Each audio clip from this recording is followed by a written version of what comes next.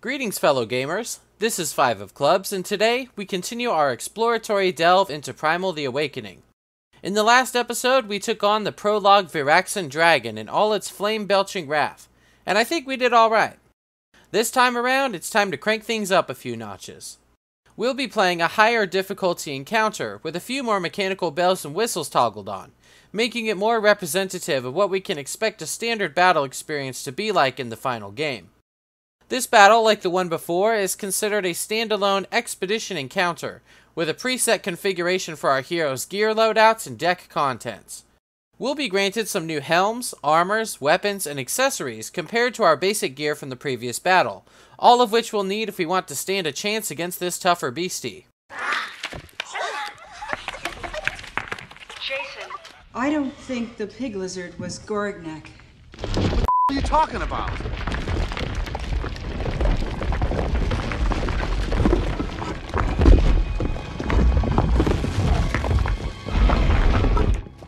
Oh, darn. Say hello to the Toramat, a hulking rockosaurus that resides in the arid stillness of Thyrea's desert domain. From the art shown on the boss mat here, it appears that this monster bears a craggy crust coating head and tail, both of which will likely be used to batter our heroes about the board.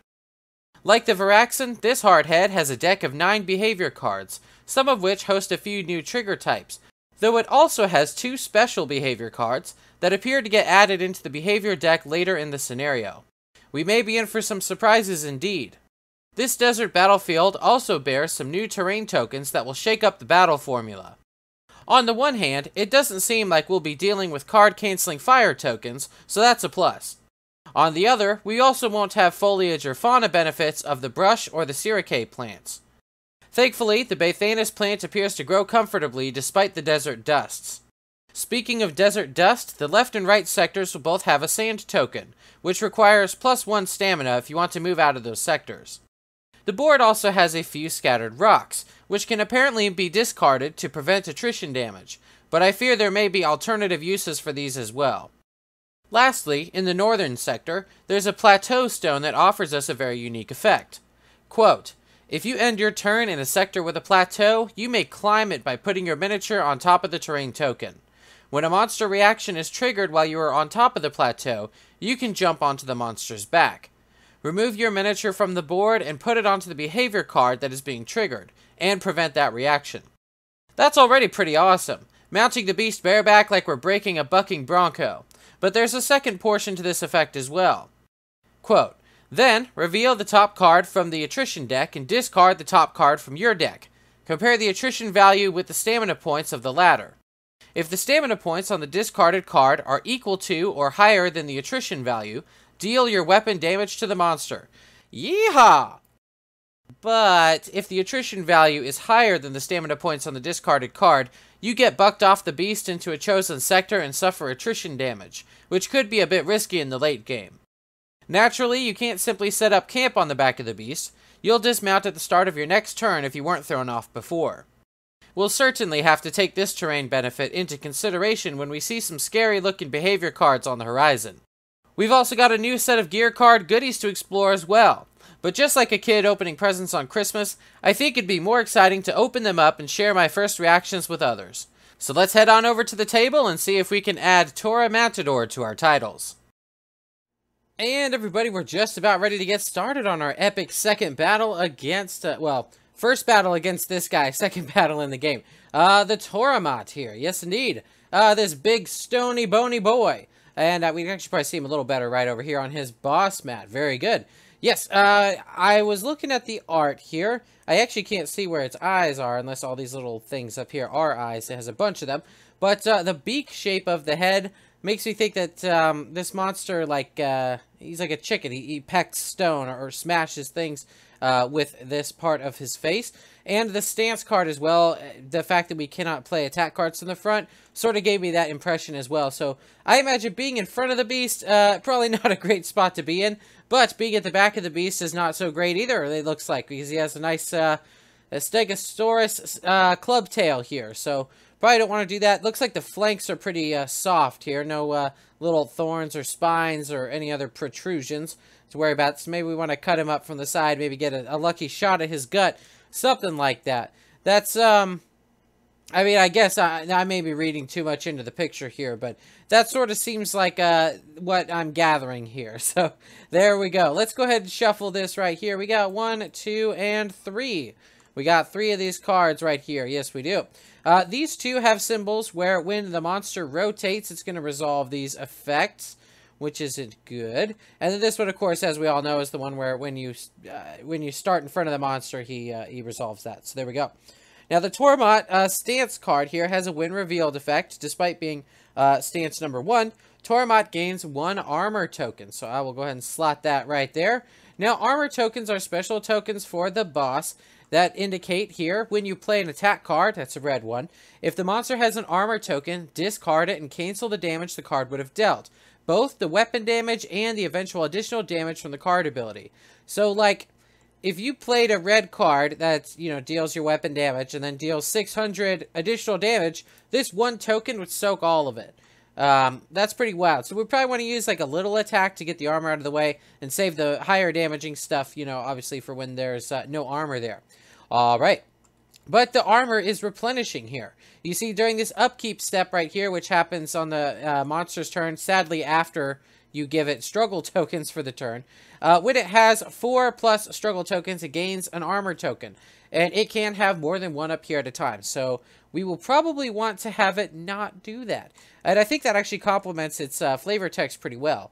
Over the years, during their secular life, a Toramat carapace can harden to become almost invulnerable to any element in Thyrea. Well, uh, hopefully we have uh, found ourselves a young one today who hasn't had a chance to harden up uh, against our elemental attacks, uh, or we're going to be in for some trouble, so that's not good. Now, this objective card actually doesn't enter play until he's in phase 2, so I'm going to turn it sideways as a reminder to myself that this is not active right now. Okay. Uh, let's go ahead and take a look at our two characters today. Now, uh, one of them is a returning combatant from the first episode, and I was going to put Thoreg over here and just kind of keep it the same so that you could see kind of the before and after change.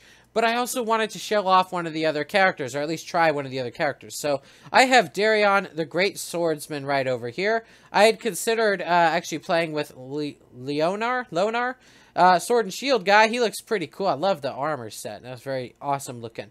But unfortunately, as you can see, the deck won't load in right for me. It looks really weird. Uh, I tried like clearing the cache and turning off mod caching and uh, trying to reload the assets, that sort of thing. I have no idea what's going on. But uh, in any case, uh, we'll have to look at him maybe another day because uh, his board is, it's actually the only one that's like that. And as well, over here, his cards, yep, again, same sort of deal. And his mastery card is, is stretched weirdly. So, um, not sure what uh, what went on there. Something uh, bizarre to be sure. But in any case, uh, that it's kind of good because we get to see someone who's familiar so we could kind of compare how she worked before and how she works now. And we get a brand new person to divvy it up. And then again, from a thematic perspective, uh, Thoreg fell at the end of the last battle. So maybe he's back at base uh, resting up, I guess, or something like that. All right. Well, uh, Miss Mira, it's time to talk about her new kit. And I'm uh, really excited here because uh, some of the things that I saw when I was divvying these cards out uh, looked pretty great. She has a bow that is called Abyss. So you might notice uh, the uh, edges are a bit more colorful than the gray edges of the previous gear. Well, that's because this bow has an elemental affinity. You might be able to pick up on it. Uh, there's a coral symbol here, if that didn't give it away. And then, of course, kind of a sea motif here. We have like a... I think this may be a sea serpent or a, a sea horse. A really angry looking seahorse. Just the way that it's uh, coiled there. I guess it could go either way. Uh, shells and, and whatnot over here on this bow.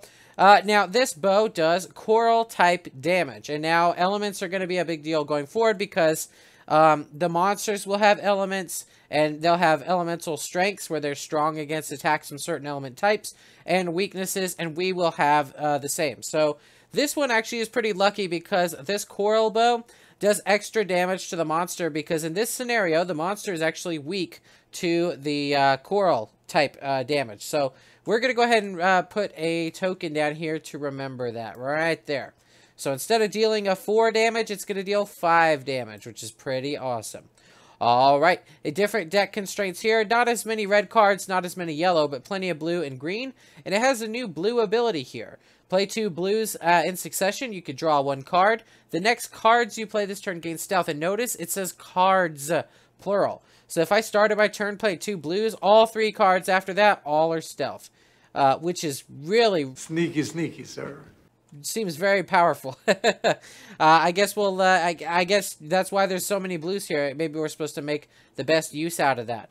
Uh, perhaps. Okay, so that's the bow. We have a crystal helm over here, and it is from the crystal family of uh, gear as well. You kind of see from the art that crystalline structure. And with an ability of its own. When you suffer damage, search your discard pile for a card of your choice and place it on top of your deck. Um, long range, anybody? yes, this seems like a good way to loop long range, so that if I get damaged this time, I'm certainly not getting damaged next time. Uh, that sort of thing. Or actually, since there are fewer attack cards, you might want to put them on top there so that you could uh, get more uses out of them per shuffle, right? And you can see we have strong and weak uh, indicators here. We are strong one against coral and lightning damage in this helm, and we are weak one against uh, the, I guess that's, I think that's metal and frost. So if the monster does either of those damage types, we will have to take uh, an additional damage. And if it did either of these other damage types, uh, then we would take one fewer damage, which is pretty good. Now, this monster, it already actually shows you right up here, it has this claw symbol. It's claw damage or bone damage. Um, some of the cards in here will indicate when he's doing claw damage, and if that's the case, uh, if we had any interactions here, we would modify the damage accordingly, but not uh, the case with this helm. We also have a reef-bound plate, which is a coral armor set. You can kind of tell with the fish skull shoulder pauldron there and so on. While you are not threatened, you have a hand size of plus one. Really? Wow. Okay. Uh, so it turns out she can have up to six cards in hand at a time.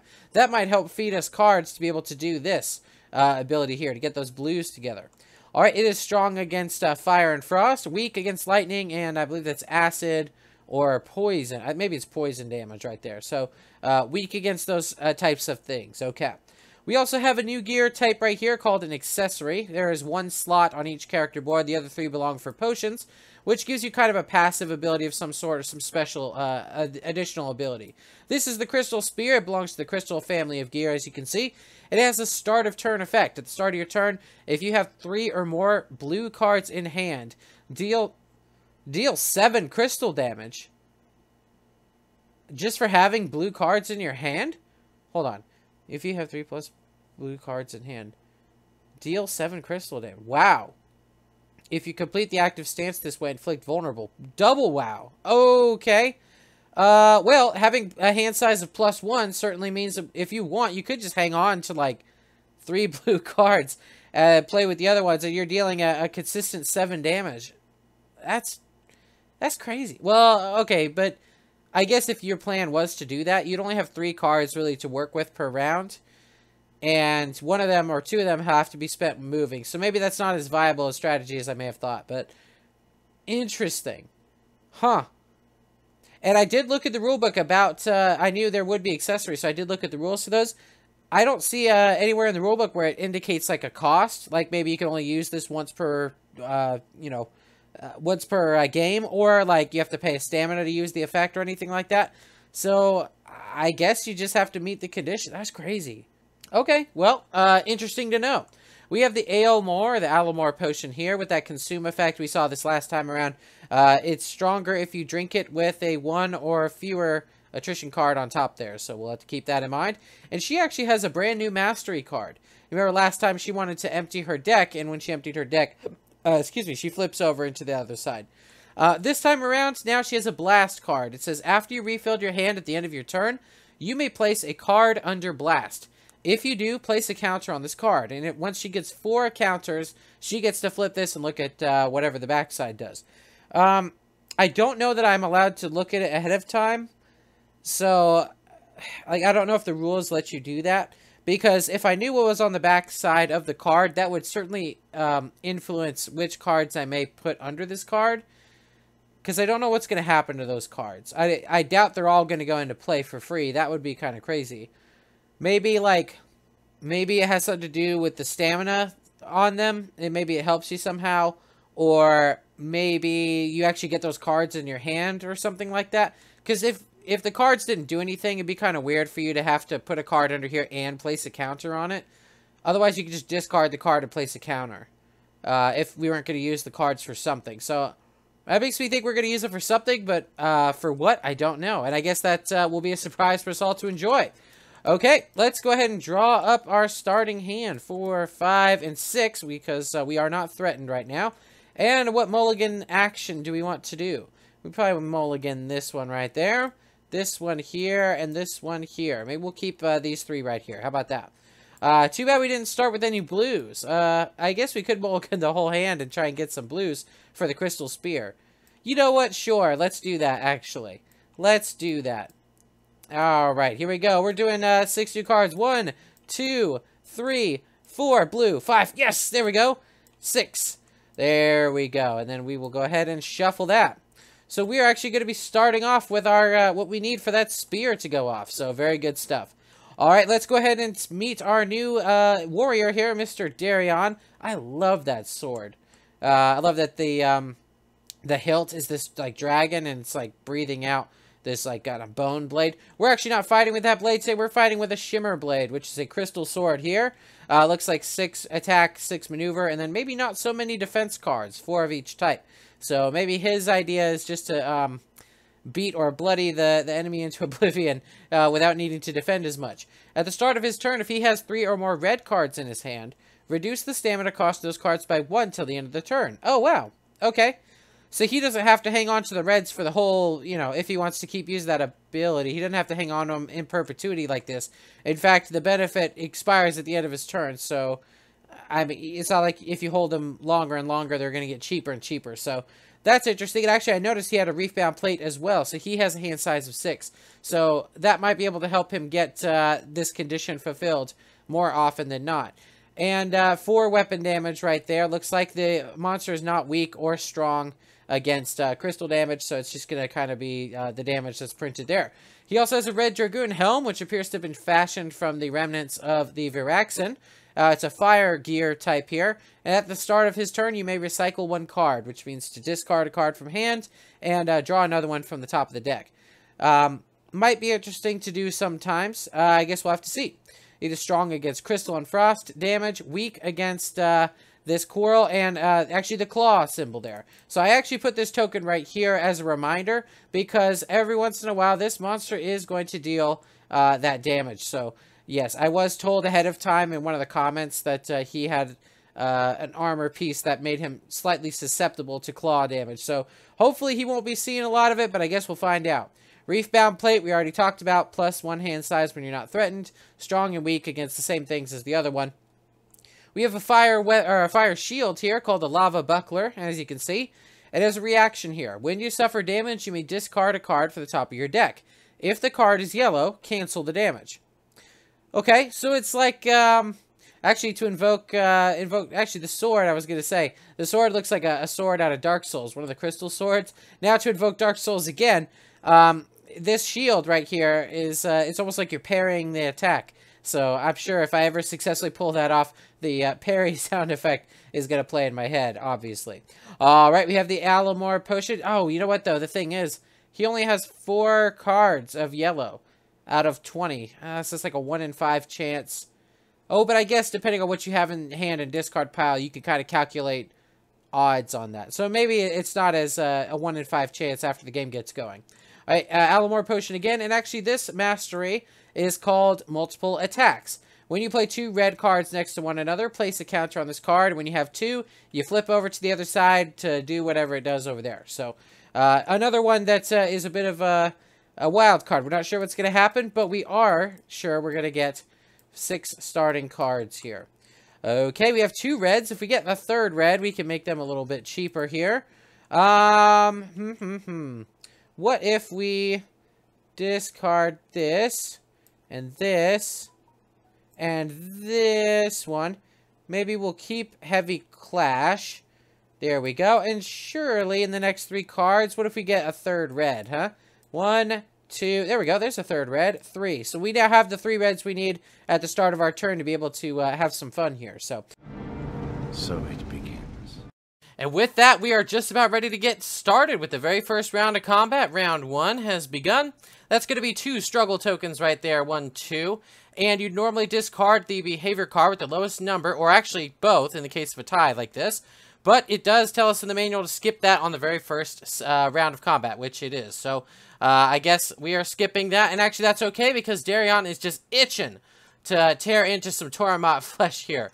Um, but uh, it looks like the Toramat can sense fresh meat, actually, because he is not, uh, he's targeted poor Darion and he's about to hurt him because Darion is starting his turn right in front of the monster. So let's see what's going on.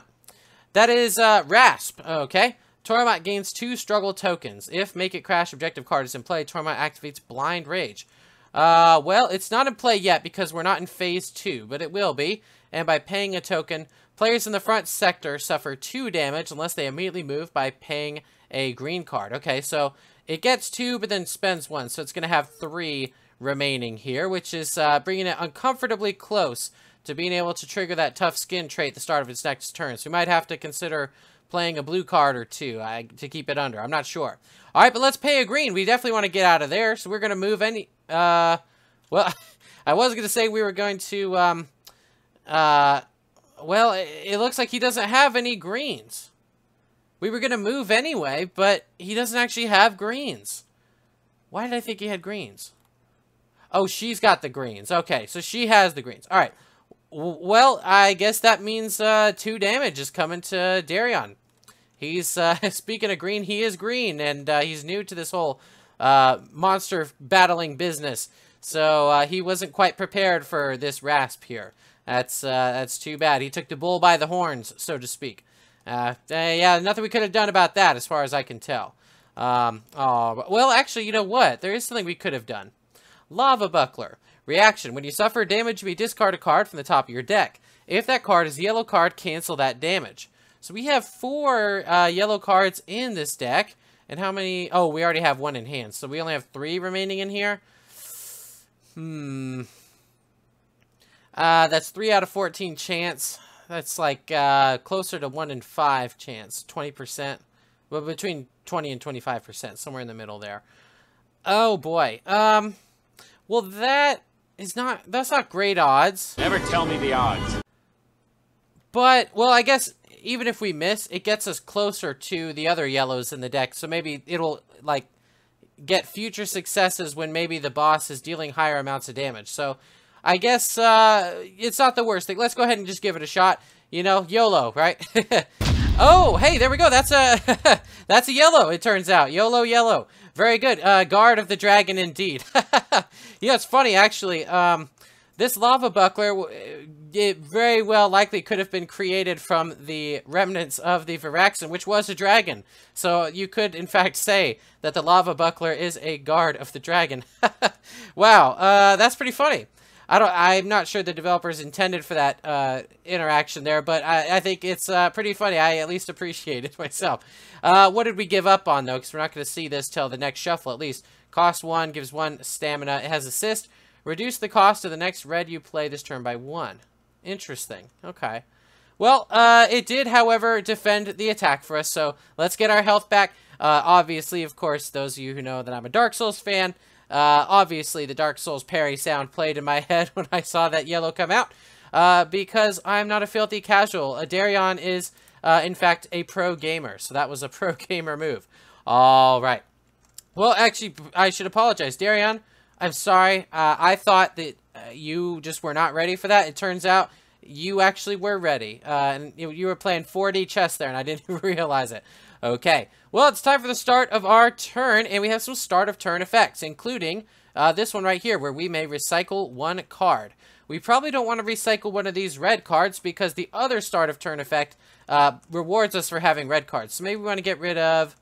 I mean, this yellow, we can't play it to parry anyway. Heavy Clash removes the struggle token. That's kind of good. Uh, what else we got? This is pretty expensive. Maybe this one. Pressing Strike slash draw two.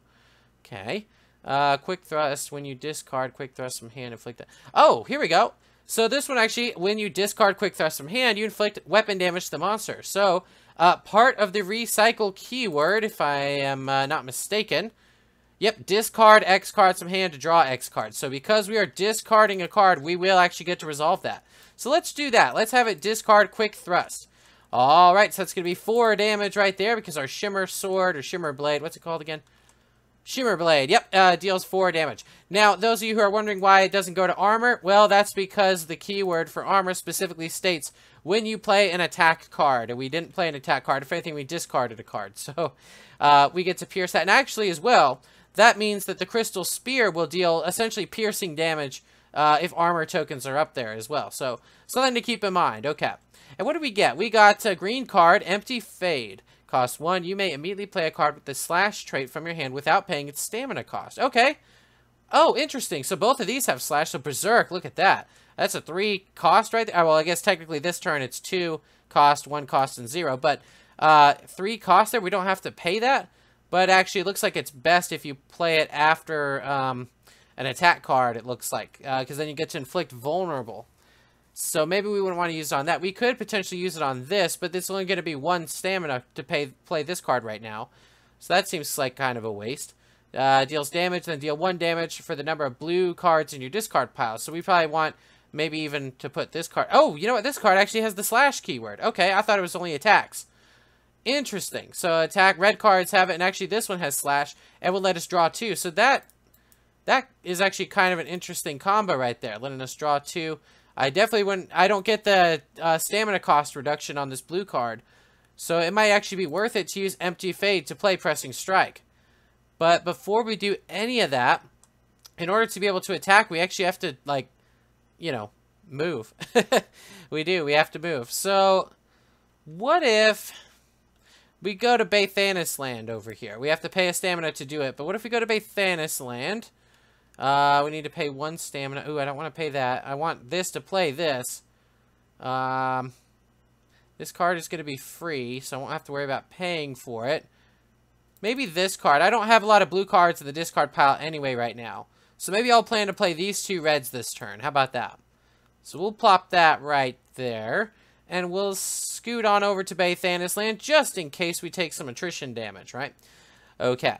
Now, uh, now that we're over here, Let's discard another card to play Empty Fade. I hate the fact that we're paying uh, two stamina to potentially do it. Does she have an assist? Maybe that can help. Uh, she does not have an assist. So, I don't like overpaying for it, but I think in the long run, it'll help us do kind of a pretty interesting turn. So, let's do that. We're going to discard Heavy Clash to play Empty Fade right here. Gives us one defense against attrition damage. That's always good. And that will let us play uh, Pressing Strike, which being a blue card means we will remove one of these, and hopefully we can remove enough of them not to worry about tough skin, huh? All right, and that's going to let us draw two cards as well. One and two. What do we got? Coordinated Assault, which is blue. Choose an ally to discard a blue in order to deal two times their weapon level damage or replace the behavior card in play. Oh, that's interesting. So it actually lets you get rid of one of these cards up here. Okay. Interesting. And then, uh, oh, this is a common kind of card we've seen. A green that costs two, generates two, and lets you draw two. Um, okay, gotcha. So, let's see. This card's going to play itself for free. So, we could play this next. We could actually play Coordinated Assault, but the thing is, we don't want her discarding a red or a blue card, because then she won't be able to use the spear. So, uh, let's not do that. Instead, let's just play this card for free right here which is going to deal 4 damage, and that will go to the armor tokens. We got that out of the way. There we go. And we have to pay 2 stamina to play this. So we're going to discard this one right here to play this 2 stamina Berserk. Again, it's 2 stamina because of our Shimmer Blade, which is going to deal 4 damage right here to the beast. 1, 2, 3, 4. And because it was played after another attack card, it's going to inflict the vulnerable status right here. So Next damage that gets dealt to the Toramat is going to be doubled, and we actually happen to know the Crystal Spear is about to deal 7 damage to it, so that's going to be 14 damage. Unless, um, I don't know, maybe some shenanigans gives it another armor token. That would be, uh, I'd probably cry. okay, well, I think that's about all we want to do, because we don't want to use this card. So, uh, let's give that a quick shuffle, and let's reveal our attrition card. Ah, it's 2. Alright, so given that it's 2, that means it does surpass the defense here, meaning we take 2 damage there.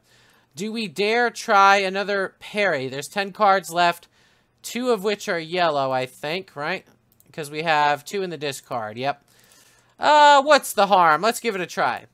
Uh, nope, tactical maneuver, which is blue. So, what does that do again? or well, I haven't seen it, but uh, it says choose an ally sector or an adjacent one to draw one. Okay, so it's okay. That's a, kind of a support card.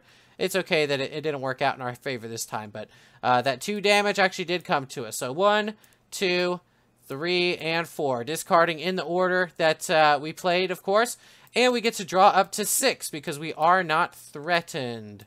Five and six. Ah, we only have two reds. If we had a third red, then uh, we'd be in business for the sword here. But we don't appear to have that. Maybe maybe she could assist us on the next time and, and something. Or maybe next time the recycle effect can uh, get us a red, maybe. I don't know. We'll have to see. All right, and then last but not least, of course, the Toramat turns to face Mr. Darion, but that will trigger both of these cards right here. Eeny, meeny, miny, mo, catch a tiger. Uh, this one. Alright, Tail Swipe. Deal 2 damage to all players in the rear sector. If there are no players in the rear sector, all players in the flank sector suffer 1 damage. Targeted players may discard a green card from their hand or destroy rock terrain in their sector to avoid the damage. And it does have 2 tokens, so it'll pay those. Targeted players can only avoid damage by destroying a rock terrain in their sector. So here we go. Those are getting paid. So now we actually got lucky because there is a rock over there. Um, but we have to decide if we want to just take the damage or not. Uh, if we, well, if we took the damage, we wouldn't get this benefit of putting a card from our discard pile on top of our deck. So, I think, let's just let the rock go. Goodbye, rock. There you go. That tail swiped, and it swiped right into a rock. So that rock uh, did its job. Maybe that's why those rocks are there. Alright, and this card triggers as well. This is Heavy Swipe. Deal 2 damage to all players in the rear sector. If there are no players in the rear sector, all players in flank sectors suffer 1 damage. Uh, it's kind of the same as the other one. Targeted players may discard a green card from hand or destroy rock terrain in their sector, excuse me, to avoid that damage. Oh, and if it had two uh, struggle tokens, it would actually get two extra damage. So that'd be four damage. Yeah, I would definitely discard a green in that case. Do I even have a green? I do. I like this green. Um, hmm. I could discard this. Yeah, again, we don't have any cards in the discard pile, so I'd hate to take damage and not get the benefit of that. So, uh, evasion, uh, goodbye. You're going to the discard pile because we don't want to take damage from uh, the big beast's tail. Oh, crap. And here, speaking of tail, look at that. We got a tail right there. And now that it's the start of Mira's turn, this tail card is going to resolve. Oh, gosh. Man, this is uh, an active monster this turn. Uh, disrupt. All players in the rear sector discard one red card from hand, okay? Uh, she's the only one in the rear sector. Oh, you know what? We lucked out, actually. Look at this. We don't have any red cards. Does it say anything else? No, it does not. Okay, so we got lucky. Okay, so the tail card is kind of good sometimes. If, if, you don't have reds, then uh, the tail card is great. Or if you have too many reds, I guess the tail card could also be great. Wow. Okay, well, now it's our turn. Uh, first and foremost, we have to decide if we want to move, which, since we are in a sandy sector, is going to cost us two stamina to do. Uh, hmm. That means either this card or this one. This one could potentially... Oh, wait, it's the start of our turn. It's time to hit this beast. Yes, for 14 points of damage. There we go, bringing it from 22 to 8. Wow, that's quite a hit. All right, thank you, Crystal Spear. Really appreciate your uh, your contribution to the battle effort there. And now it's time to skedaddle. So let's skedaddle to the rock. I'm going to go to the plateau. Here we go, hanging out at the plateau. That seems like fun. And, um, so if we played acrobatics by discarding some cards, we could draw three more cards potentially have a bit more fun on our turn. Do we have any assists over here? We sure don't. Or, ah, that does seem like a lot of fun. Let's discard this one and this one. Perhaps. There we go. And actually, when you discard Quick Shot from hand, you volley once. Let's go ahead and reveal the next one. Ah, it's the uh, it's the Quick Assist card. So uh, it's too bad that's there. Oh, but if we take damage, you can put it on top of the deck. So at least there's that. All right, but no uh, no interest at least uh, as far as volleying. You didn't get any free volley damage. Too bad there. That's going to play Acrobatics. Gives us a little bit of defense there. And then let's also play this card right here. It's going to uh, remove a blue token. The blues are actually already gone. So that's going to just... We can't recycle one because we don't have any cards. So we're going to draw three. One, two, three. Oh, we have Perfected Stretch here, which we want to be on top of the discard pile by the start of our next turn. Hmm. I could discard called shot to play perfected stretch. Maybe that's what we'll do. You know what? Actually, let me back up just a smidge. Because let's not forget what this weapon card does. This weapon card, when you play two blues in a row, draw one, and the next cards you play this turn gain stealth. The reason why that jumped out at me is because I remembered we have a red card right up there that's going to trigger. Maybe I don't want to deal with that. So maybe I play this card right there. Let's just remove another blue, which, well, we really can't. But interestingly, though, let's just draw a card right here. That's perfect. And then uh, the next cards we play gain stealth. So, ah, it's that other uh, quick assist card. So if I wanted to play perfected stretch, I would have to get rid of this. I do love that quick assist. Or I could get rid of long shot, I guess, since really this one's not as good until we're in beast mode. So, you know what, maybe that's it. Well, I'm going to hang on to the assist, hoping it could pay off for us. So we're going to do that. slightly overpaying, but I think it's worth it. And let's not forget, we inherit the aggro token for this. So there we go, 5 damage to the beast. One, two, three, four, five. We're not triggering that because uh, the cards that we play for the rest of this turn are stealthed. I am very, very sneaky, sir. Thanks to our weapon. So thank you, Abispo. Really appreciate that. Okay. All right, I think that's about all we're going to do for our turn. So we're going to reveal a card. It's the three. Okay, so we've seen the two, a two and a three already, though. So that bodes kind of well for the rest of the game. So, all right, two damage here for attrition, and we get to put one of these cards on top. We could put long shot up there, but uh, I do love the quick assist, don't I? So we're going to put quick assist up there. How about that? Or maybe we don't do that one until we take more damage later. Maybe we put another blue in our, our hand so we could try and build up blues again for the spear. Maybe. Let's see, that's quick assist.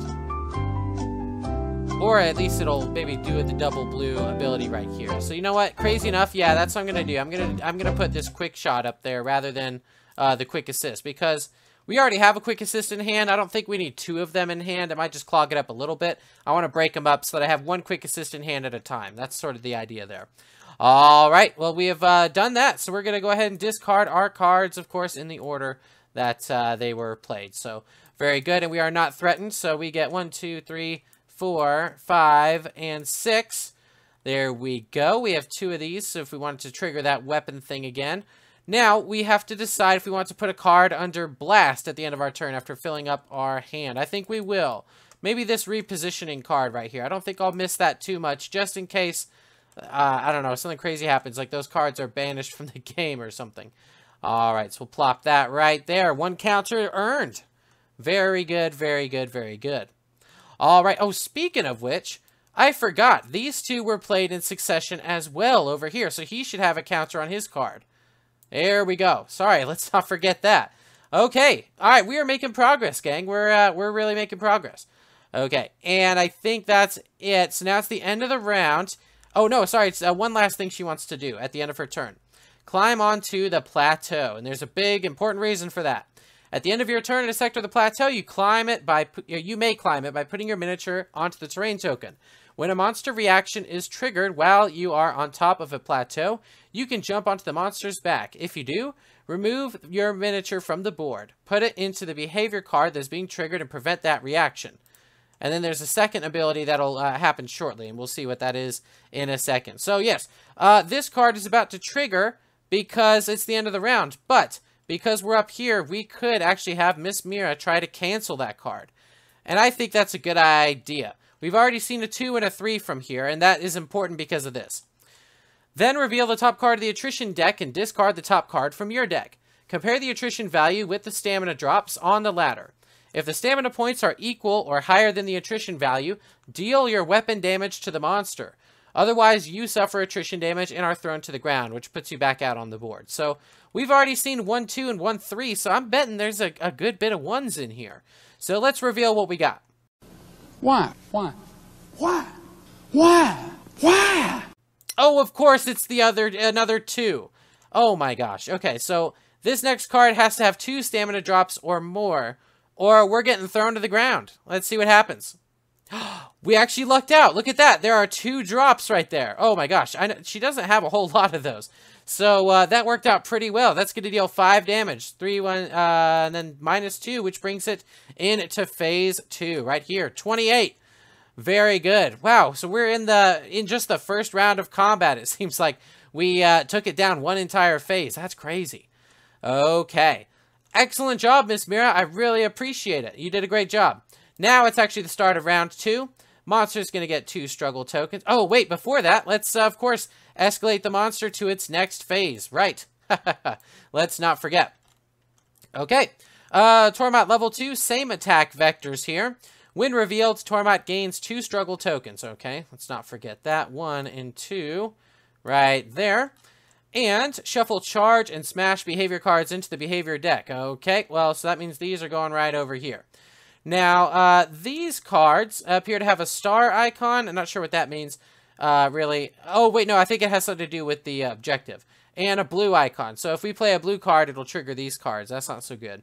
Okay, so those are shuffled in. We're going to start seeing those populate on the board here. It now has a second peril card called Furious. When Toramat gains one additional struggle token when it escalates, which means uh, when this deck depletes over here and it reshuffles the discard pile, instead of getting the one it normally gets, it gets two now. Also, when a player moves, Toramat gains one struggle token. So every time we move, oh gosh. Alright, and then we have the objective token. Hopefully this can give us some reprieve. The active player may discard a blue card during their turn to trigger any behavior card uh, with a star in play. Well, don't it already trigger on blue? Why wouldn't you just play the blue card? Because if you play the blue card, you get the benefit of removing the tokens and whatever else it does. Huh. Oh, maybe it's for, like, if you have a blue card in hand, but it costs, like, a stamina price you can't or don't want to pay. Okay, so you can actually purposely trigger these cards. Interesting. So maybe there's a reason why you'd want to do that. Blind Rage. Place one counter on this card. If it exceeds uh, four counters, all players suffer one damage. And I don't see it say, like, and then discard a certain number of tokens. Oh, maybe that's what these cards do. Maybe this is how you uh, get cards off of Blind Rage somehow. Maybe Okay, that would explain why you'd want to activate them, or, like, purposely trigger them. Hmm. But you might maybe need to do it in a certain way. Like, maybe you... I don't know. Maybe you want to trigger it when you're behind it or something. Oh, maybe it's the rock. Maybe you want to trigger it in a spot where you're with a rock. Because it seems like the rocks kind of protect you. Maybe you can hide behind the rock. I don't know. In any case, I guess we'll, we'll find out if it happens, right? Okay. So, yes, it's now in uh, Phase 2 now. Thankfully, this is gone the thing about uh, gaining armor tokens, because with this much uh, struggle token gain, it would be armored like all the time. all right, and now we're actually in round two, and since it has two of these, it's going to get two more for the start of its turn. Here we go, one, two. And we get rid of the lowest numbered card here, which actually is this red. So we'll pop that right there. And now we have uh, this one right here. It's going to punish us for playing blue. Okay. All right, Ms. Mira, it is the start of your turn which means that uh, you get to uh, dismount from this creature, as it says here. Um, uh, yes, at the start of your next turn, get down from the plateau, or if you're on the monster's back, you're thrown to the ground, and that is defined here. When you're thrown to the ground, choose a sector on the board and put your miniature into that sector. So, um, for example, maybe we, uh, maybe we go back, let him throw us back into plateau land. Maybe we get back on the, uh, up on the plateau to hop on his back. Perhaps. Yeah, maybe that's what we'll do. Yeah, because, um, yeah, I'm not going to move, which is going to make me threatened, but I have long range here. So even though uh, that's going to happen, it's not going to be a, a, huge deal, really. How many cards? We have 10 cards in there. How many of them have aim here? Let's just double check. One, two. Okay, so two cards. We could get rid of, like, all the struggle tokens if we uh, played multiple shot here after a blue. Which we might want to play two cards anyway to get the benefit of this. Oh, but if we play a blue card, this is going to happen. Hmm. Maybe we don't want to play a blue card. Maybe we want to hang on to blue cards to try and get a third blue card so we could do our spear next time. Maybe that's what we'll do. So in that case, I need to get this long range card in the trash. So, or on top of the discard pile. So, as much as I like to usually discard Fighting Edge from hand to do something, maybe instead I will actually discard Long Range to play Fighting Edge. There we go. Make sure to get my threatened token for not moving. There we go. Alright, so we have one little defense right there, but again, we have long range, so we're good to go on that. I think what I'll do is I'll keep the rest of this, definitely the quick assist to help out our friend over here. Um, who still, yeah, he doesn't have assist. So, uh, I think that's what I'll do, and I'm just going to end my turn right there. I think that's exactly what I'll do, and we're going to get one, two, three of these. Oh, uh, let's as well reveal the attrition. Zero and one. Okay, yep, so that makes sense. There we go. Zero and one. Neither of them are going to work. Well, we didn't really need long range. Actually, you know what? If I'd thought about that, I may not have wasted long range because we've already seen two twos and a three. So, uh, I think there may only be one other two in that deck. Um, so I may not have wanted to use long range just yet. But actually, it turns out we just got another copy of it right there. So, uh, that's pretty good. Uh, we filled up our hand. We need to decide if we want to put one under blast here. Um, let's put let's put backflip in there. I usually don't tend to miss that one too much either. So there we go, backflip right there. Second token, and uh, of course let's climb on the plateau again just in case. And of course Toramat is going to rotate to face our friend Miss Mira. There we go. All right. Excellent. Well, it's uh, our friend uh, Darion's turn. He's going to heal one for starting his uh, turn in Baythanis land. And I suppose he is actually in a flank sector. Oh, if you're in a flank sector, you may immediately... Oh, you know what, though? You know what, though? Backflip. She's threatened, so she's only supposed to get five cards. So let me just shuffle that. Um, she's only supposed to get five cards to end her turn, uh, which she would have had backflip anyway, but still, what I really wanted to uh, correct was just the fact that she should have four cards right now, not five. There we go. All right, so he has to decide if he would like to move at the start of his turn. Um, I, um, maybe, maybe he'll move to the rock. That cost him one stamina to do that. Uh, he could do it with this one right here. Squeak. Right there. All right, and it's the start of his turn, so he may recycle one if he wants. I think he will. Let's recycle this one right here. Oh, and look at that. We actually got another red. Look at that. We have three reds here, so now when we resolve this start of turn effect, look at that. We have three plus reds in our hand. Reduce the stamina cards, uh, cost of those cards by one to the end of this turn. So we got one, one, and three. Fascinating. Okay. All right, that's pretty good. That is pretty good. Two blues. Um, right. Okay, so... Right. Now that we're in the back spot here, I don't think we want to play any blues because we're going to potentially accidentally trigger this. We really don't know what it does yet, and I'm not really sure I want to find out yet. Um, so, interesting. If you're in a flank sector, you may immediately play a blue for free, or play a red for free. That could afford this. So maybe, uh, it might be nice to hang on to both of these here. Yeah, so what I'll do is I'm going to have her do that quick assist for us here. There we go.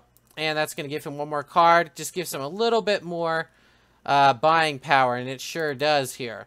So I want to try and keep this one if I can. So what I'm going to do is I'm going to spend this card to play double slash right here. There we go. That's going to deal uh, four weapon damage here. One, two, three, four. Lovely. Oh, and because he moved, that's one struggle token to the monster as well. Let's not forget. All right, and then I want to play Lacerate as well, but I don't want to use this to play it. So I think I'm going to discard Swift to play Lacerate. There we go, which is going to deal 4 damage. Then, deal 3 times weapon level additional damage for each card with the slash trait in your sequence. I have two of them. So that's going to deal 6 additional damage on top of 4 is 10. But also 3 more damage right here. That's 13 damage. So uh, from 24 down to uh, 11. Woo! That was a great hit, Mr. Darion. Very good. And look at this. This is two reds. So you know what that means. That means that is the second uh, counter on multiple attacks. And it's time to see what this thing does. Let's find out. 挽回 不死の工場 Multiple attacks reduce the stamina cost of all red cards you play by one. That's basically this, except that you don't even have to have three in hand to do it. If these things combo together, oh my gosh, that'll be crazy. So, like, theoretically right now, this only costs two. Uh, because it's minus one stamina for that, and minus one stamina for... Oh my gosh. Darion, you are uh, an aggressive beast. My goodness. Okay, uh, well, I I think that's about all I can do as far as, like, defense. I think I want to keep both of these, so I'm going to get a stamina token. Here we go. Then we'll plop that right there. And it's time to reveal uh, one of these attrition cards, which I think we've seen the zero, so it's probably going to be a one. Yep, it's a one. Okay, so that's going to be two damage still, right? Yep, two damage. All right, do I want to try to parry the uh, attack here? Let's see. We have one, two, three yellows in there, and we have two cards left. Oh, man. Okay, so what? It's a 50-50 shot. I mean, we have to, right? Oh, thwart! Darn it! We have been thwarted in our effort to parry. Uh, we flubbed that parry uh, attempt, didn't we? Oh, gosh. All right, so, man, that means that that's the fourth yellow, if I'm not mistaken. Man, oh, too bad. So close. Well, you know what? Actually, I guess that's kind of fair, right? Uh, we started out with, like, a crazy lucky parry. So now when it was almost guaranteed, uh, we didn't get it. So I think that's probably fair in, in the long run of, of things. So here we go. Two of those here. We did move, so we're going to get uh, six cards here. Three, because we're not threatened. Shuffle, shuffle, shuffle. One more damage because it's level one weapon. Four, five, six. Oh, wow. Look at that. We have... Oh, boy. We're in for a power turn this next time because now we have Shimmer Blade and we have the Mastery card, making these uh, quite affordable. All right. Perfect. Now, um, one thing I forgot to check. Double slash... Let me just double check here. I'll reshuffle it if I have to. Lacerate. Yep, Lacerate inherited the aggro token. That's what I needed to, to check there. So I'll reshuffle that. Alright, so since it inherited the aggro token, the monster is going to turn at the end of its turn to face poor Darion. Alright. I got you now, SpongeBob! no! Almost jumping the gun. Almost. There we go. Uh, this end of round thing is going to trigger right here. Well, guess what? Uh, Mira is, I think, just going to jump on top of it because uh, she's been having pretty good success with that. So there we go. We're going to discard one card here. That's a 1. And we are going to discard one card here, which gives us 1 right there. So that's going to be 5 damage. One, two, three, four, five. There we go. Now it's going to be there. Now it gets the tokens. Now it discards this card. How about that? All right. Well, now the turn is starting with Darion here. So, since he's starting his turn in front of the monster, this card and this card are both going to trigger. But thankfully, Mira is on the back, so I think not. We already know we've seen two twos and a three. I think... Two, two. we've seen two twos and a three. I think she should cancel that right there for sure. And uh, let's see if we can try and get some... Um, try and get some uh, more damage on this beast. That There's a one. Perfect. Okay, so she is going to damage herself right now. And since she, uh, she reshuffles the deck, I don't think she gets the benefit here for doing that. So there we go. And let's uh, drop that. Ah, oh, it's a two. So we overcommitted here, it turns out, by a little bit. But hey, hard to turn down more free damage, right? There we go. Five more damage right there. And actually, this card triggers as well. Because uh, these cars trigger, this one triggers and this one triggers as a result of that one triggering. Yes, uh, trigger, trigger, trigger. So she is going to block this one as well, I think. Might as well give it a shot. That's another one, which we know uh, she's going to be able to make happen. Oh, man. She's burning through all her two stamina ones. That may play into our future uh, calculations here. But, again, another five damage. One, and then that's four damage to uh, this next phase, phase three. Bringing it to 41 health. My gosh, that was crazy. The plateau, um, may be a little powerful. and, uh, yeah, that's crazy. So, all right, here we go. I mean, I guess, you know, we just happen to get a pretty fortunate shuffle of the attrition deck. Because you could be thrown off by an unlucky 2 or an unlucky 3 uh, here or there. Or if you had a wound card, like these, the if you had this in your deck and you actually revealed that card, it doesn't have any stamina. So you could even fail a 1 uh, that way, supposedly. So uh, in any case. So Yes. Uh, let's see what happens here. We are discarding this card, and this card actually remains in play uh, because it has that little asterisk icon. So both of these are going to be active. So he's getting additional uh, struggle tokens when the escalation occurs, and getting uh, whenever players move, they get struggle tokens. And while the Toramat has 8 plus struggle tokens, add plus 1 to all attrition cards you reveal. So thankfully he's just one shy of that, but he's a little close for comfort there. And Toramat gains one acceleration token. Here we go. Oh, gosh. Uh, this acceleration token adds to the number of uh, struggle tokens it gets when it gets the struggle tokens at the start of its turn. So uh, during the struggle step, usually it gets two. Now with this up here, it's going to get three every uh, time it does that. And it also has increased uh, damage here, so it's getting dangerously close to unleashing, which would be quite devastating for us. And it has the Earthquake keyword, which I don't see on here. I don't see it here. Uh, maybe it's in the enemy keywords section. Let's find out. Accelerate, escalation, not earthquake. Upkeep. Um, maybe it's in hunter keywords? Probably not. No. Oh, you know what? It's probably in the scenario booklet. Let me uh, take a quick peek here at the uh, the scenario. Special special rules. Yes, earthquake. This event may be triggered by card effects during the game. When that happens, immediately remove the plateau terrain, replace it with two rock terrains in that sector. All players there in that sector suffer one damage. Okay. Uh, well, actually, you know what? There is no one over there. Technically, uh, she's on the beast's back, riding a bareback. And actually, you know, it's funny when she's um, staying on top of it and shooting these arrows into it. It's reminding me of that scene from Lord of the Rings, uh, maybe Return of the King, I think, where um, Legolas climbs up the Mumakil and gets right behind the neck of the, the elephant and shoot arrows into the neck. Reminds me of what Mira's doing. I guess she took notes uh, watching that film. All right, so uh, the plateau is gone, and maybe that's kind of for the best because I think we were making amazing use out of it. Uh, maybe even in too good use. so, uh, right. Uh, we now have two rocks here, though, so those rocks will help us with uh, the attrition damage, because let's not forget, the rock's base effect, uh, right here, when you receive a damage from attrition, you may remove the rock terrain from your sector in order to prevent the damage.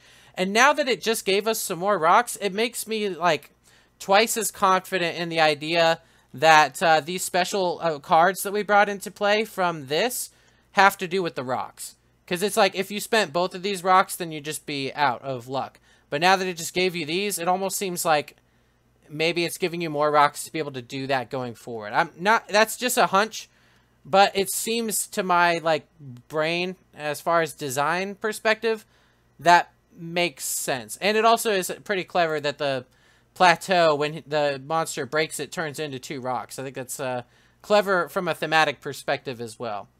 Yes. Okay, so uh, funny enough, all this stuff just happened as a result of the start of Darion's turn. So Darion, my friend, uh, I think it's time for you to actually take your turn, shall we? Uh, first thing we have to do is decide if we want to move. We definitely do because we still can't attack this beast from the front. So maybe we will spend our stamina to skedaddle over to Baythanis land just in case we take some damage, huh? All right. Now, we could, for instance, now that we're in the flank sector, we could use Timed Slash, which, for one thing, will get rid of one of those struggle tokens. And for another, uh, we get to play a red card for free. This is quite a quite an expensive red card right here. For four, well, actually, I guess right now, it only costs two, which is pretty good. Speaking of, uh, yes, so it only costs two for him right now. This is free, and this is basically free. Oh, wow. Okay. Um, hmm. Yes, maybe search your deck for red card added to hand. Don't think I want to do that. And uh, at the end of your turn, choose an ally to draw one for each uh, one of these symbols in your deck here. Yeah, let's start with timed slash. I think I will pay for that with evasive step right there. So we'll put timed slash into play. Right there. That's getting rid of one of those. Boop. There we go. Oh, and because we moved, though, let's make sure he gets his token, because uh, he is, uh, that is his due. And if we're in the flank sector, we could play a red card for free. The problem is I don't want to do that in this case because I want to play this after a red card for this to be um, as effective as it can be. So what I'll do... hmm, I guess I'll play this one. Double slash. Here we go. It's going to be uh, 4 damage to the monster. One, two, three, four. Here we go. Righto. Double slash. And then if we play a red card after, we'll do a little bit more damage, which is always a lot of fun. Um, right. And let's see what else we might want to do. If we play this one right now, by paying the 2 stamina here, then uh, we'll be able to double the weapon's damage here. 4 times 2 is 8. Oh, and you know what? We could actually stun the monster and inflict vulnerable because we're in beast mode. Oh, man. Uh, yeah, we're going to do that. we're going to pay this card to play Dragon Strike right here. There we are. That is 4 damage. We get to double that weapon damage. But interestingly, we get to add this 3 to it first. So 4 plus 3 is 7. Uh, 7 times 2 is 14 damage. And we get to throw an uh, vulnerable token after that. So 37 minus 14 is 23. Wham! There we go. But the fun is not yet done because we also get to stun the monster. So we get to pick one of these, put a stun token on it, and uh, enjoy some fun with that. So let's see. How about this one here? There we go. Because uh, she's not going to be able to do the plateau to block it anymore. So we'll put the stun token there, and uh, I think that will be just fine. Now, does she have any red cards in hand? She does, which means that we're going to do the right damage this time. Instead of dealing your weapon level damage, you actually are supposed to deal your uh, weapon damage itself. So that's 5 damage right there. Times 2, because of this right here, is 10 damage. So that's bringing it down to 13 health. Boom! All right. Wowzers. And you know what? We even have one more card we could play right here for free. There we go. That's going to be another 4 damage right there. 12, 11, 10, and 9. 9, 9, 9. My gosh. What a great turn. Woo! Darion, amazing. Uh, now, of course, we're probably going to get some attrition damage, but uh, I think it was worth it because we just uh, nailed this beast for quite a bit. All right, that's two. So, yeah, that, of course. And he's going to get three damage right there. Let's just try and parry it. Who knows? We might get it. yes! Deflect. So we began the game with an epic parry. We uh, appear to be closing out the game, or at least getting quite very close to it, by uh, deflecting and parrying that damage as well, which would have been three damage there. Wow. Oh my gosh. That is epic. Darion, you are a beast, sir. All right, I told y'all he was uh, he was a pro gamer, right? And he does not have uh, his threatened token, so he gets six cards. One, two, three, four, five, and six. There we go, six cards. There we go. And then let's turn to face our friend Darion at the end of the turn. And Miss Mira, at the start of her turn, needs to dismount from this creature. Uh, now, we get to pick which quadrant she is dismounted in. Um, how about... What if we dismount her here in the double rock terrain? That seems pretty safe right there. And additionally, she have to decide if she wants to move. She could move, I suppose. But I kind of like her there. We also have a long range right here. So, as long as I put something into play... Let's see, does he have anything that assists? He does. So let's discard that to give her one more card just to see if that'll help. Okay, so, uh, well, it's already past the start of her turn, so I don't know that I get the spear damage, but that would be fun, wouldn't it? Alright, well, I think what I'll do is I will play... I could discard these three to actually do the weak spot, which inflicts vulnerable again, but the problem is I don't know that anyone's going to damage this creature um, before the end of the turn. I could play two of these to get this going on, which could be kind of fun. Um, to draw one and then uh, have the cards be in stealth. Maybe.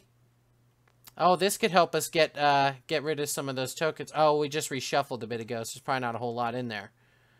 When you discard quick shot from hand, gain volley one. So if I did like one, two, three, like that. Uh, we get volley one from that, and I'm discarding three to play this card here, of course. So, Yeah, that's what I think I'll do. So we'll volley one, which actually, funny enough, uh, does do the damage here. So that's going to be one, two, three, four, five. There we go. And funny enough, actually, we paid our three to be able to play weak spot right here. Boom, which is going to deal another 5 damage. The monster only has 4 health, bringing it down and defeating this beast. There we go. All right.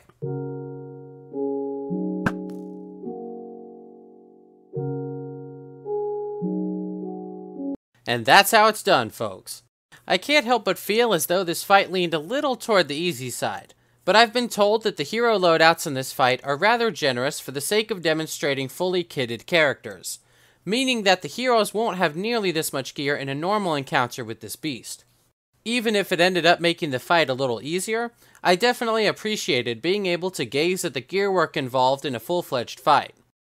I certainly felt that there were more mechanical cogs in the mix for this battle, but thankfully not so many that it ended up feeling too fiddly or unwieldy. I imagine increased familiarity with the game will pay dividends in how much active recall effort is required to remember all the triggers and conditions in play. But I also imagine that playing in a physical tabletop setting, where I can take in the whole board at a glance, will help with that as well. Although, I've been informed that the demo we've played here is akin to a version 1 of the final game design. A primal primer, if you will.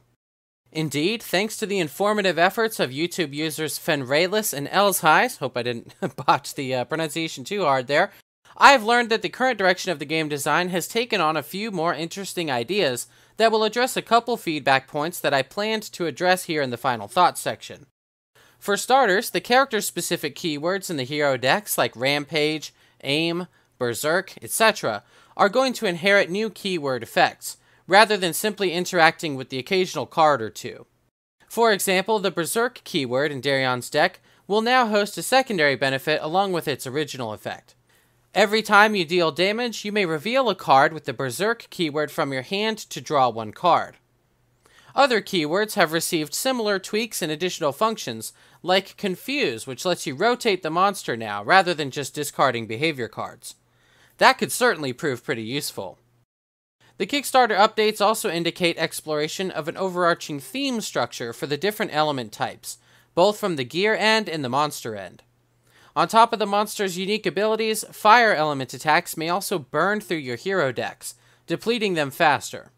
On the flip side, there's talk about fire gear being able to discard cards from the top of your hero deck to boost damage and abilities. Coral and water enemies will dabble in regeneration and limit the number of cards that you can play in a turn, whilst coral gear will involve healing effects and putting cards from your hero discard pile back into your deck, lengthening the amount of time before a reshuffle occurs. With this in mind, it appears that the game is still evolving to some degree, dialing up complexity and consistency across the board, which proves promising for folks who wanted a bit more mechanical meat on the game's bones. Now, it's time to ask has the game proven itself promising enough for a late back from me? Wow, um, that's kind of a big question. For starters, I'll mention a bit about how different I felt this battle was compared to the Viraxan fight. One of my primary concerns during the Kickstarter was whether or not the spread of monsters would offer truly unique battle experiences. I only have two examples to measure from here, but at least in regards to these two, I do agree that this battle experience was different enough to be considered sufficiently unique from the Fiery Fiend. Whether that will extend to the entire roster of monsters or not, I couldn't say. The terrain did a respectable job of offering more options and considerations in this fight, especially the rocks. Rocks have a tendency to be rather bland in other board games, so it was refreshing to see multiple paths of utility for them here. Do I discard this rock to cancel this behavior card's damage? Or do I save it for one of the cards that grants us an opening on the monster? Or do I perhaps save it for phase 3 to negate the bonkers attrition damage? I was certainly impressed by this. Now that I'm more familiar with the monster deck, I can envision future battles where I make more optimal use of those rocks by triggering the right behavior cards when I'm in rocky sectors.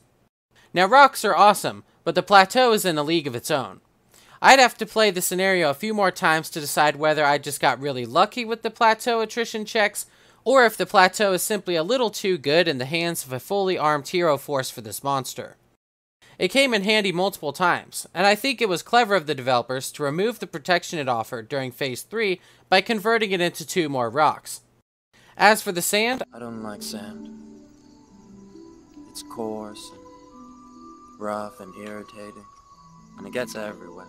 I thought the sand would be a bigger pain than it was, but it seemed that both characters generally had enough stamina to move through it when they needed to, likely as a result of the increased hand sizes afforded by the reef-bound armor. Broadening out from the terrain talk, I think the boss battle experience itself felt sufficiently different as well. As you may recall from the previous episode, once you completed the tail objective on the dragon, it didn't really matter too much where you attacked the dragon from. In the Toramat battle, your ability to exploit the monster's weakness depended on your ability to get the stony bony boy to bash a rock at the wrong time, which takes more potential planning and comes across as more engaging to me by comparison. We didn't get a chance to resolve those added special behavior cards in the battle today, but I looked through them after the battle and saw that we would have been greatly rewarded for triggering those cards when we had a rock nearby, so it looks like our gut guess was vindicated. Additionally, I like the fact that the objective card wasn't entirely good for us this time, as it helped the monster build up rage tokens, which would eventually lead to area of effect damage if the monster survived too long. The new gear abilities as well did a great job of broadening the options and considerations available to the heroes, sometimes even affording me new pursuits that weren't possible without them. During the dragon fight, unless you used assists, generally what you had in your hand by the start of your turn dictated the full potential of your turn. So, it was a nice surprise in this fight when Darion's start of turn recycle effect gave him a neat new card a little early, recontextualizing my potential plan with him for that turn. I also enjoyed parrying a blow or two for the monster with Darion's buckler, as a happy surprise which rewarded deck awareness. Mira's ability to put a discarded card on top of the deck when she takes damage seems like a great ability, though having it as a mandatory response made it seem a little less great in our playthrough today. I also don't think I'd have pursued Mira's new mastery condition without the extra card she got each turn from her reef-bound armor, though the boss was dead before we really met the condition. It turns out, if she had gone into her mastery mode, she would have had yet another plus one hand size bonus and would get all the cards she put under the mastery card back in hand, which sounds insane. I'm certainly interested to see what other kinds of abilities and effects we'll see on other gear cards and mastery cards in the future. Perhaps we'll even see an item or potion that lets you peek at the attrition deck, or shuffle certain discarded attrition cards back into the attrition deck or something. I don't know. With this in mind, let's look at the original set of critiques that I referenced in episode 1 and see how they stack up with a few hours of play under our belts. Granted, it's possible that I've come to different personal conclusions than you about these issues and the weight that they bear when evaluating the value proposition of the product, but I can only speak for myself. If you agree or if you disagree, I'd certainly be interested to hear your thoughts below. Firstly, did the rotary boss feel ground locked and immobile to me?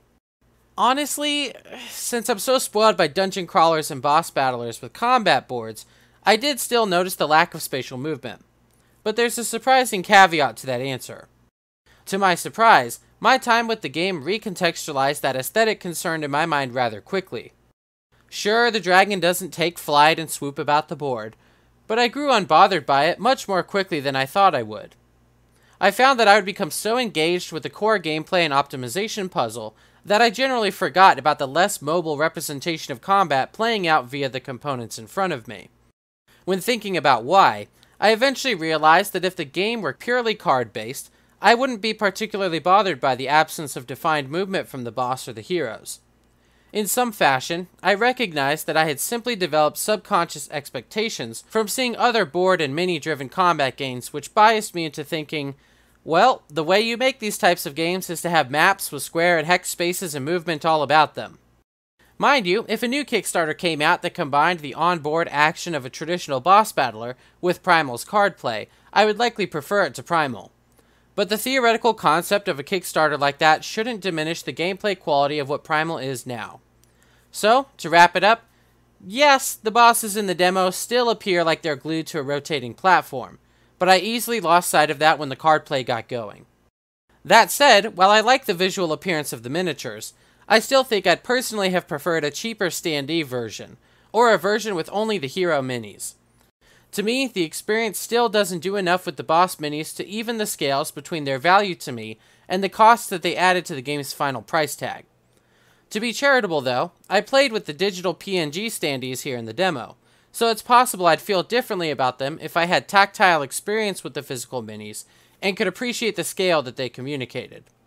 Next up, do I feel confident that the four space board design structure will allow for unique mechanical diversity between each boss and stage?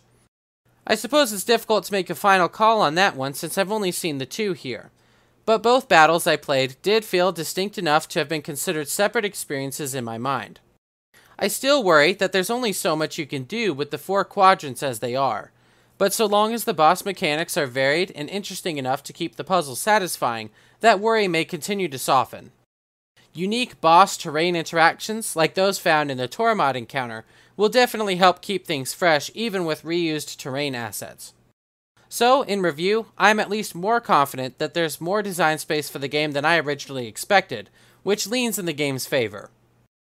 Regarding the game's similarities to Marvel Champions, I can report that I've been sufficiently satisfied by my primal playthroughs to conclude that both games offer unique enough experiences to be different in my mind.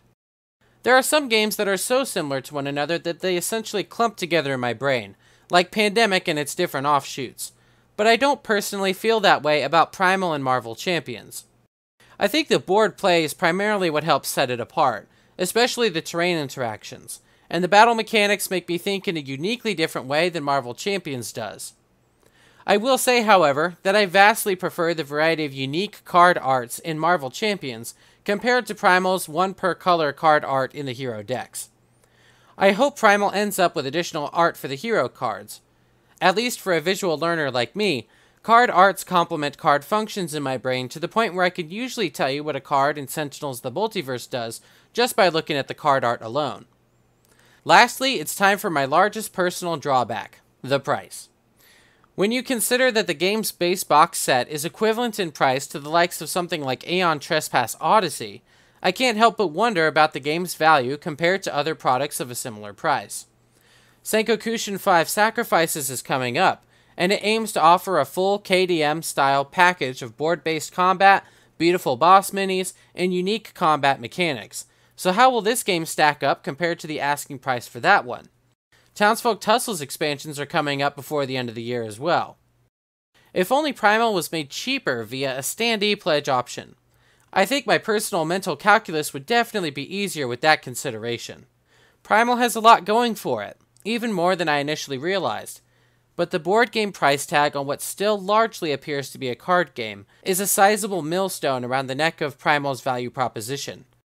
So, with all that firmly in mind, I don't need it. I don't need it. I definitely don't need it. I certainly don't. But I need it! Okay, need is a strong word, but come on. Did any of you really think I was going to pass on this one? Looks like the Boss Battler moniker maintains its unchallenged grip on my wallet once again. This game is a primal example of how digital demos can work wonders for a game's perspective pitch. Sometimes, at least for me, playing a game for myself offers a new perspective that can flip my first impression of a game on its head. I remember thinking that Wingspan sounded like a dreadfully boring game, but I actually ended up really enjoying it when I played it for myself. The same thing happened with Cartographers as well. I guess I notice and or appreciate the design nuances in a game better when I play it myself than I do when watching playthrough videos. This Simpleton Skull is a bit thick sometimes, so perhaps it takes more effort for the magic of a game to really sink in for me than it does for others. And that was certainly the case here. Primal thoroughly impressed me, and it fell right in with the likes of the other card based combat games that I adore. I really like the reaction system driving the boss's behavior, which gives you enough information to eventually learn what the boss is planning, but not necessarily ensuring you can avoid or negate its tactics every time. I think the 10 round timer and limited healing both help keep the battle moving along, preventing your characters from treading water too long if they want to maximize their chances of taking down the monster. I'll have to dig into the details of all the expansions to determine which ones I really want, but the expansion that adds the two new heroes seems like a good first choice. Any expansion recommendations you'd like to share? Happy to hear your suggestions in the comments below. As far as the price is concerned, well, it still seems a bit steeper than I'd like. I'm sure I could recoup some of the cost by selling the boss minis online if I wanted to. Thank y'all so much for watching. Now that I've got my boss battling boots back on, I think it's about time we head back to the scalding shoreline to battle some aquatic nightmares. Until then, happy gaming, everyone.